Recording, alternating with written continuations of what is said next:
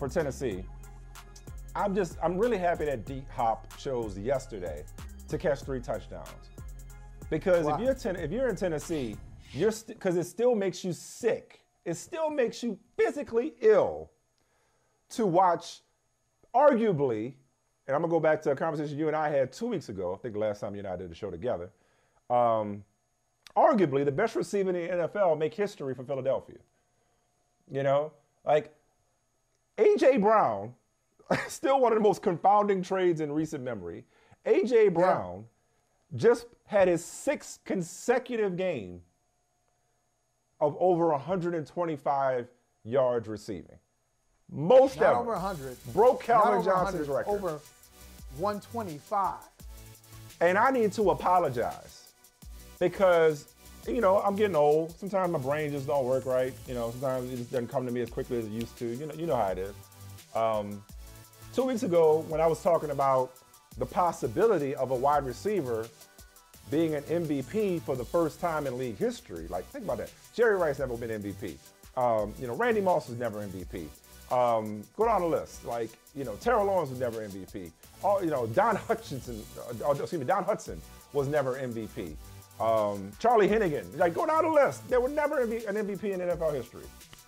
Um, I was like, although Hennigan was in AFL, I was like, Tyreek Hill, best receiver in the league. Who else is in the conversation? I believe I omitted that dude. Yeah. Blame my head and not my heart. Because I love Yeah. me some AJ Brown. The city of brotherly love loves them some AJ Brown. Tennessee loved AJ Brown. Jalen Hurts clearly loves AJ Brown. Fantasy managers everywhere love AJ Brown. And the Titans, I mean, I still they, they it's got to make The them sick that he's not. doing that for somebody else. Not enough. They didn't love him enough. Um, They didn't not love him enough. enough. So you want to talk about in the building? He was literally in their building and growing up in their building, only for them to ship him off to Philadelphia. Obviously, Philadelphia is thankful. Tennessee still ruined that day, but that looking at looking forward, if they got themselves a young quarterback at the top of the second round, um, what a find and and what a foundation, uh, and and everything else just can flow from there.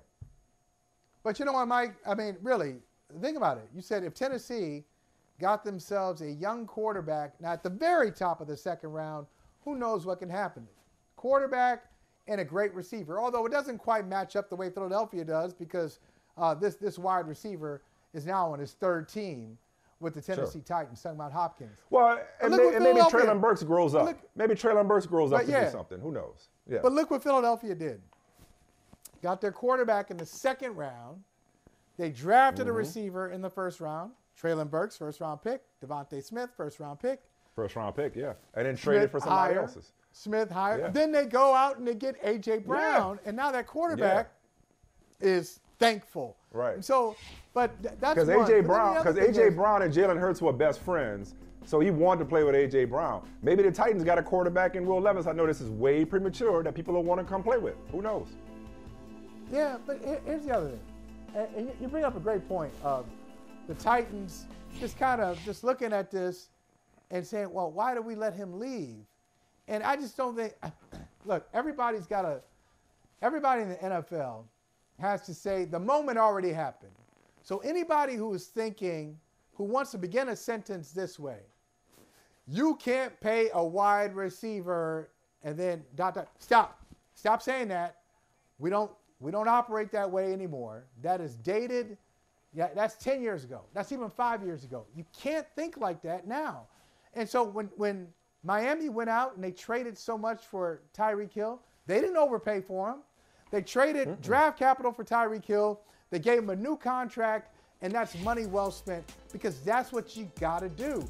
Uh, and look, they won the Super Bowl without him. Kansas City did last year. Still got Travis Kelce.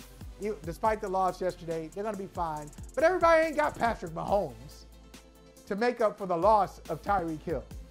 If you don't have Patrick Mahomes and you have a Tyreek Hill type, you got an A.J. Brown type, pay him.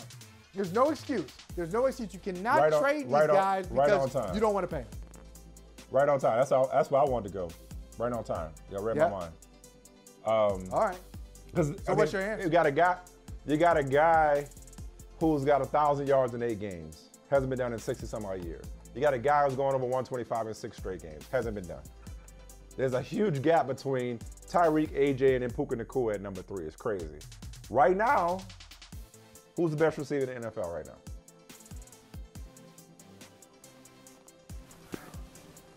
I'm gonna say it's Tyreek Hill. It's Tyreek Hill. Tyreek Hill.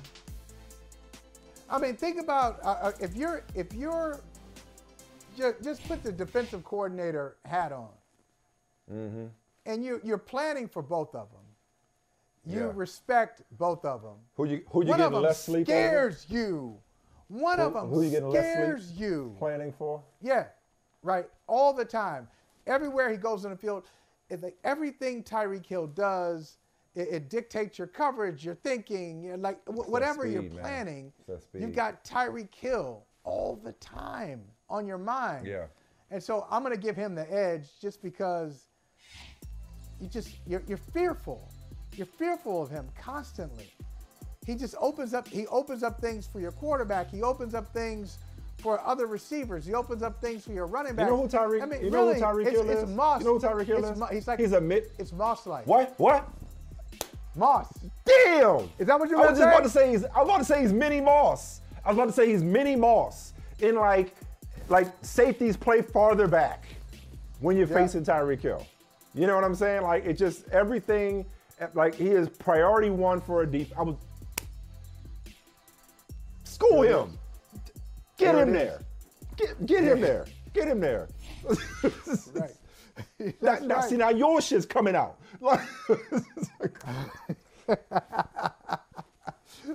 Hey, look.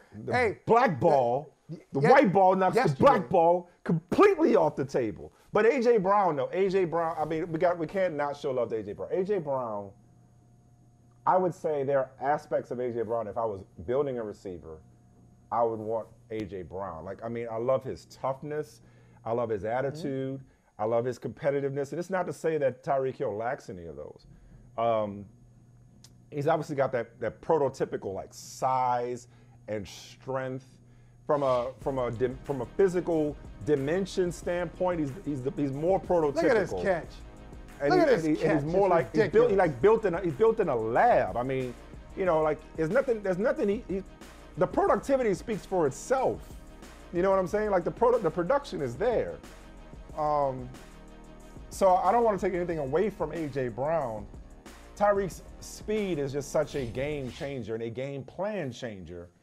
To, to your point, to our conversation, till I will give the edge to Tyreek Hill, but I'd be more than happy if if I had to choose. If we had to choose one, and you pick Tyreek Hill first, AJ Brown is nobody's consolation prize. So like, it's it's it's it's definitely a debate. In the absence of Justin Jefferson, in the absence of Justin Jefferson, it is most definitely a debate as to who's the best guy playing right now.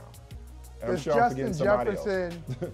we always forget the, the guy who's hurt. I mean, so Jam- Ja'Marr Chase. season. Ja'Marr Chase. All right. Ja'Marr Chase is right. just entered the chat.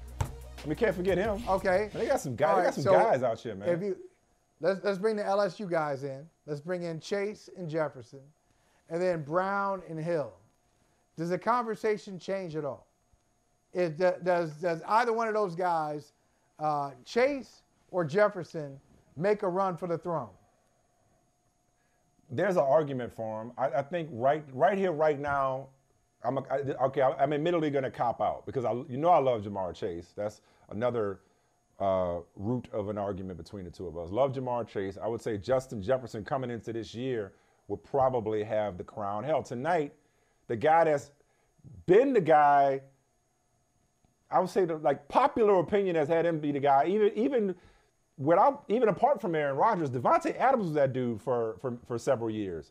He, he was he was the best MC, right? So I mean, Davante Adams might have something to say about he- it tonight. Is he it? No, I w- I wouldn't say now, but I mean, how much? But how much of that is his fault? You know what I mean? Like, but I would say the cop out for me is I'm gonna cop out by saying like throwback. I'm gonna just say numbers don't lie or numbers never lie. just misname my own, Nah. call my own show by the wrong name. No, because I, I don't think you can deny what Tyreek Hill and AJ Brown are doing right here, right now. I love Ja'Marr Chase. Justin Jefferson has been historic with the start to his career, but I will concentrate the conversation, and this is a cop out, an intentional cop out, to, uh, to not make me choose, because now we're kind of muddying the water. It's hard enough to choose between Tyreek Hill and A.J. Brown. Now you're asking me to, like, well, what about Chase and rank them? I got to think about it. Let me think about it some more and get back to you next week in terms of, like, See, here's my top five wide receivers. That's hard. That might be harder may- than quarterback. Top five wide receiver might be harder than quarterback right now. Might be. I may bring in a That's- that's disrespectful. This is going to be perceived as a disrespectful layer to the conversation. I don't mean it that way, but I can see how you might take it as disrespect. Uh,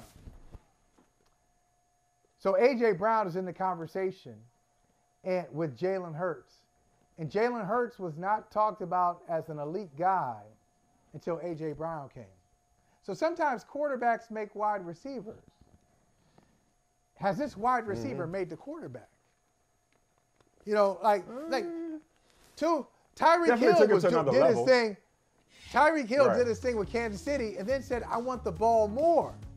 He's asking, he wanted more money and more more targets. Yeah. So he gets He away asked for it, from Travis Kelce, yeah. goes Yeah. to Miami. Ain't And nobody talking about Tua. You weren't talking about Tua into now Tua's in. So Yeah. those guys can can Ja'Marr Chase do Stefon, that? I mean, Stefon, Stefon Diggs did it for uh, for uh, for Josh Allen. I don't know. We haven't seen Ja'Marr Chase change teams yet. I, I mean, you know, Justin Jefferson kind of did it though. I mean, I mean Kirk I mean- Cousins. I mean, he was like, Kirk Cousins was was above average. But when he's throwing to Justin Jefferson, he's great. Justin Jefferson that's a allows him to do some that's a things. that's that a homework assignment, man. I put I put myself on the spot. Like, like ranking the top five right now. Again, I, I go with Tyreek, man, but AJ Brown, man, he was a he was a he was something. Dude is something. I got to go Hill He, one. ni- he nice I go. Hill one. I go Brown two. Brown too.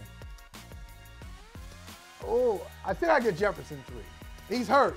Jefferson three, Chase four. That's what I'm saying. If he wasn't hurt he was doing what he what he does every week, it'd be hard to rank somebody above Justin Jefferson. Yeah, You know, got to put him in. I shouted out got banged Stefon. Diggs. Like I, I can't wait till you travel. Yeah, a You lot of tra- good ones out there. You travel, you travel. They, like, they're going. Hey, hey man, let me let me holler at you for a second. I saw your segment. Hey, thank you for watching Brother from Another. If you haven't hit that subscribe button, go ahead and do that now. Don't forget you can catch us 3 to 4 weekdays on peacocktv.com and on Sirius XM channel 85.